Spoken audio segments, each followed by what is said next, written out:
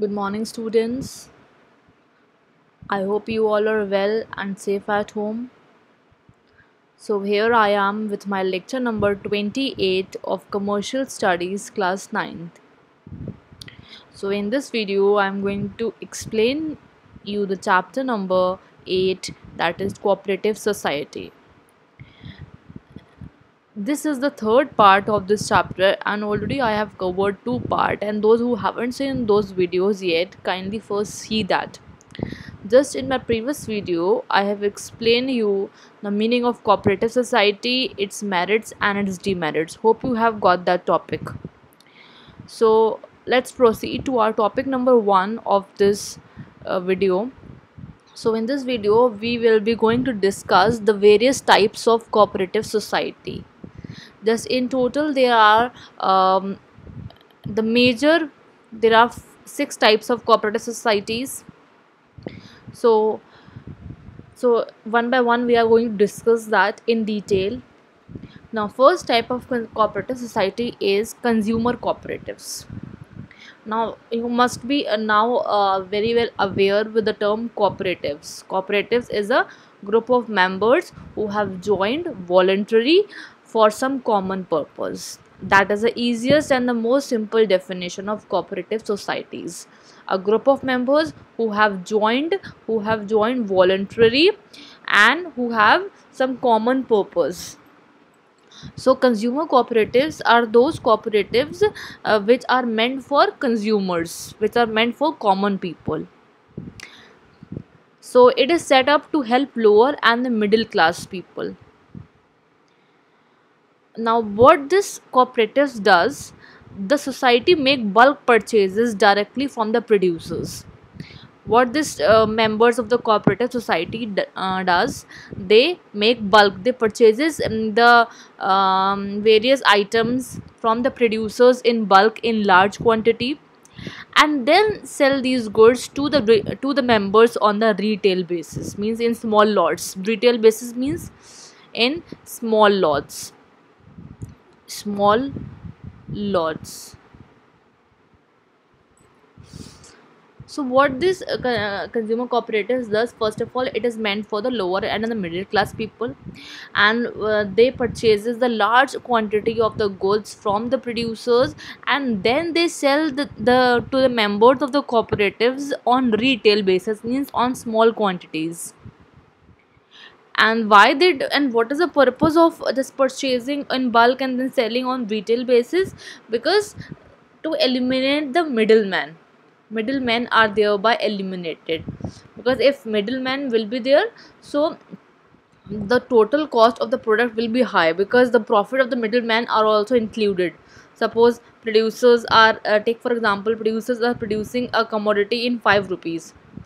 If suppose if it is um, being sold through through a middleman so middleman will also charge uh, some amount of fee for transferring a product to the consumer and therefore the um, cost will become suppose the middleman has charges 2 rupees the cost will become to the consumer will be 7 rupees.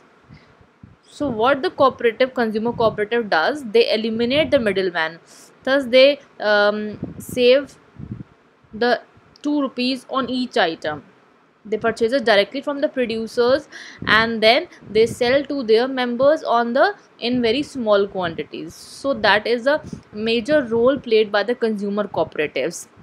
And the members of the cooperatives get articles of daily basis of daily use in good quality and at reasonable prices also because the profit of the middleman is eliminated and thereby the cost of the product is also gets reduced and members gets the items of daily product items at a very reasonable price and also in a very good quality. So that is the role of consumer cooperative. Basically it is meant for the lower and the middle class people who cannot afford to buy the commodities so they form the organization they buy the goods in bulk and then they provide such materials uh, daily product items uh, on retail basis. And thus the profits of a middleman are eliminated. So i hope so you must have got the uh, definition. Uh, if the question come define consumer cooperatives. So you can write these points because all these points are very important.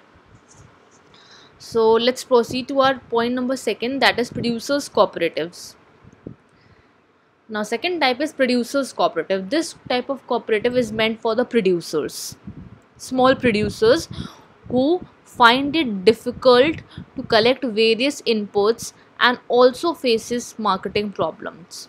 So producers cooperatives see producer what is the role of producer? A producer is the one who produces the goods and for producing the goods uh, the person requires raw materials and not only raw materials he require he also require some marketing information. Now what is marketing information? Marketing information means collecting the uh, you know collecting the information from the consumers that what type of products they are wanting. Whether they are satisfied collecting the information what type of products they are wanting whether they are satisfied with that product or not whether the consumers want any change in the product in that product. So all all information eh, um, the collection of all information is the role of producer. Producer he may himself collect all the information or he may appoint someone for collecting the information. So uh, producer cooperatives are those those societies which are established for the small producers. This market it is meant for the small producers and not the big and the large producers who find it difficult to collect various inputs who faces some difficulty because of the some financial problems or they are not having the manpower supply and also faces marketing problems so the, they are not able to collect the marketing information that what the consumers are wanting. So that cooperatives are meant for the producers. It is further of two types. Producer cooperatives are divided into two types. First is manufacturing cooperatives. These cooperatives focus on only on manufacturing part. Manufacturing part. Such a society supplies raw material and tool these type of cooperatives provide the raw material and all the machineries to the um, to the to society and its members and then collect their output also. And members produces in their own houses. So this is a very small manufacturing concern. This is meant for small producers who um, who are provided the raw material and the tools by such cooperative societies and then they also collect the output from them. So such cooperative societies provides raw materials and then they also collect the output from them after producing them into finished goods. And second one is industrial service cooperatives. This type of society make bulk purchases of raw materials and supplies them to members so here is a, uh, some minor differences there that this society make bulk purchases make uh, purchases of raw material in a very large quantity and then then then supply them to members. They do not collect the output in that. While manufacturing cooperatives because the um, uh, the quantity is very small so they supply the raw material and also collect the output while in industrial service they they provide the raw materials in bulk but they do not collect the output. So here is a one minor difference in this. But if the question comes explain the producer cooperatives. Um, you need to define from here till here and which is exactly mentioned in your commerce book so from here to here and you can also mention the name only. No need to describe in detail. If the question comes describe manufacturing cooperatives then you can define it. But if the question come what is producer cooperatives you need to define from here to here only and you can write these names of the two cooperatives. No need to define it because the, these two are uh, least important. So let's come to a third one that is marketing cooperatives now what is marketing cooperative? Marketing what is marketing students? Marketing means collecting information. Doing marketing what the what whether the consumers are satisfied what changes they want distributing the goods transferring the goods. So all types of activities are included in marketing. So marketing corporate these are the um, group a voluntary association of small producers who sell the products at remunerative prices at the reasonable prices. So what this cooperatives does they eliminate the middleman. Now middleman plays a very important role in in doing the marketing activities. Middleman collect the information. Middleman also transfers the good middleman um, middleman transacts with the consumers that what type of changes they are uh, wanting and whether they are satisfied with the product or not. So they eliminate the middleman and instead of middleman they does that work. They do that work and and it may also provide some advance money to the members for meeting their urgent needs. So they collect all the information and they collect all the information and provide them to the producers. So thus they eliminate the middleman and also the profit. So these are the small associations uh, who do the work of marketing for the small producers and also at a very remunerative prices. Now fourth one is housing cooperatives. Now these are the associations who are not able to construct their own houses due to limited funds. These are the cooperatives meant for the lower and the middle class people basically middle class people not the lower class uh, basically middle class people who are not able to afford their own houses. They want to buy their own houses but they are not able to because they are not able to get the loan. Because for uh, for for arranging a loan you need to con- uh, you, you need to take a loan by submitting various documents from the bank and the various financial institutions. And majorly the lower class people do not have the document various documents various documents. So for that purpose the housing cooperatives um, arranges a loan without causing any trouble of documents to such people. So housing cooperatives help their members to own the houses. It also arranges a loan from uh, for the members from the government organizations. Because uh, if you will go to to any bank or the government or organization for borrowing a loan you will not get it easily because uh, too many legal formalities have to be filed. Uh, too many um, documents have to be filed. You need to submit the collateral security also. Collateral security means any security which is kept with the bank is collaterals collateral. Collateral security means any security kept with the bank um, just the security. Suppose if you are not able to repay the loan back your that security will be captured by the bank.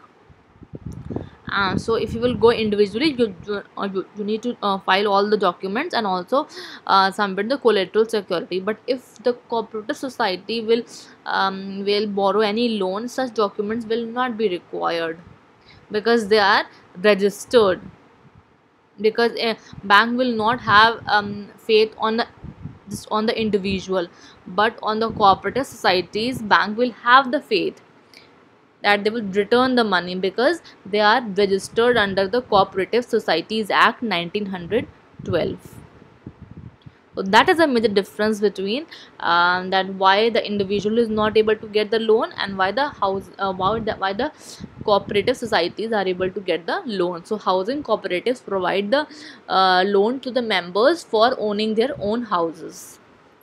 I hope so this is clear to you. So let's proceed to the fifth type that is credit cooperatives. Now the members who are in a need of loan who are in need of uh, some money uh, just just either for doing any kind of business or for uh, just providing the education to the um, to the um, students so they provide the credit facility. They provide such societies are formed with the object of providing financial assistance to the members and also developing the habits of thrift and savings among them. So, such societies, the major role is to provide the financial assistance, financial help, and also to promote the habit of saving and they provide the credit facilities to the poor people and save them from the high rate of interest. So what uh, people can also borrow the loan from from the outside either from the bank or from the money lenders or either from the friends or relatives. But the rate of interest charged by them is very high is very high rate of interest is there. High rate of interest is there. And so many people cannot uh, cannot repay the loan back they are not able to pay the loan back because of the high amount of rate of interest. And so credit cooperatives are set up to provide a loan to its members at a very very nominal rate of interest. Very low rate of interest at a very low rate of interest. And thus they are not uh, they are not you know bind up with the high rate of interest. So basically they provide the financial help with a very low amount of interest. Hope you have got this type. Now sixth type is uh, sixth and the very last type is cooperative farm, uh, farming societies. Now this as the name suggests this society is meant for the agricultural farmers. And what is the purpose? Association of farmers formed with the object of achieving the benefits of large scale farming how the farmers can achieve large scale farming how the farming can be done on a very large scale and also maximizing their agricultural output by using scientific methods and modern machinery is the role of cooperative farming societies. So basically they are these societies are meant for the uh, for the agriculturist farmers. Object is to create uh, to expand their farming and also to expand their output by how? By using scientific methods and also the modern machinery. So they provide the raw materials they provide the information they provide the education to the farmers and also they provide the money for doing for expanding such kind of activities. So i hope so the all the types are clear to you. So now let's proceed to our uh, last second topic of this chapter. That is formation of a cooperative society. How a cooperative society is formed First of all, a cooperative society must be registered under which act, which I have already told you. Cooperative Societies Act 1912. Just remember the act name very carefully, students. Now, for registration, one application must be filed with the registrar. Registrar is the sole, uh, you know, sole, sole caretaker of the cooperative societies and what what information must be submitted in, uh, just in an application name and address of the society what is the name of the cooperative society and what is the permanent address. Second aims and objectives of the society.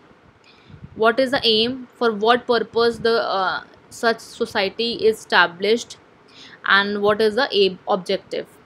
Second name third sorry third names addresses and the liabilities of the members the name of all the members who are in the cooperative then the address and also the liability how much investment they had made. And fourth one is division of share capital. So uh, how much the share capital is and in what ratio it is divided among the members. So that is the uh, information which an application or uh, um, must contain which is filed with the registrar of the cooperative societies. And it is registered under which act? Cooperative societies act 1912 so i hope so the topic of formation of cooperative society is very much clear to you. Now uh, there is also one small topic that is management of a cooperative society. And it is a very uh, last topic of this chapter so we will cover it cover it quickly. Now who manages the cooperative society? There must be a question in your mind that who manages? So management of a cooperative society lies in the hands of managing committee. There is no single person who manages the cooperative society but uh, a managing committee as a whole manages the cooperative society. And the members of the committee are directly elected by the members by all the members. Suppose there are um, uh, 50 members in a cooperative society. So all the 50 members will elect um, you know five members five members they will elect five members who will become a part of the managing committee. So basically a cooperative is managed by a managing committee and members are directly elected by the members. And who are those five members? President is there who is a sole uh, sole caretaker sole responsible person. Then under that vice sorry vice is uh, c is missing here. Vice president is there. Then secretary is there. Then joint secretary is there. And then the treasurer is there. Who treasurer means a person who uh, you know um, maintain all the records of the cooperative society who maintain all the records of all the meetings what what was the agenda of that meeting what was the aim and objective and what was the result of that meeting. So he keep uh, keep all the records treasurer. So that is the management done by the managing committee.